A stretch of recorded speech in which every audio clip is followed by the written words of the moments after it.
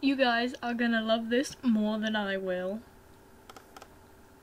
So, while I was away, I did check my YouTube a little bit, and um, I got a comment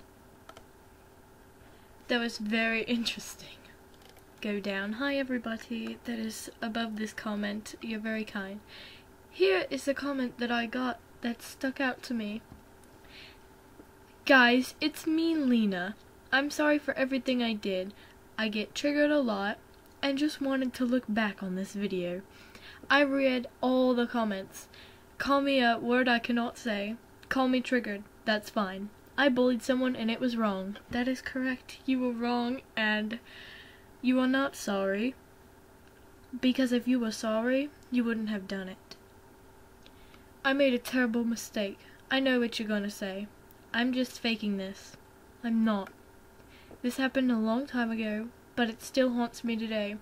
For all of you that say I need Jesus, I go to church every Sunday. Just a minor thing I had to put in. Anyways, thanks for listening, and Zyrion, I'm really sorry for this. I have no more hate against anyone, and it's gonna stay that way. I love you all, and hope you can forgive me. So after that, she posted on the Lina Bullykins video. But right today, while I was uh, looking at my subscribers, because I do that, because I'm like so perfect, I have to know who subscribed to me, I see this. It's Lina. and I'm like, one day ago she subscribed to me. Why? She knew I'd make a video. She's not getting any more famous from me though. She's probably losing subscribers. Last time I checked she had a lot more. Like at least five.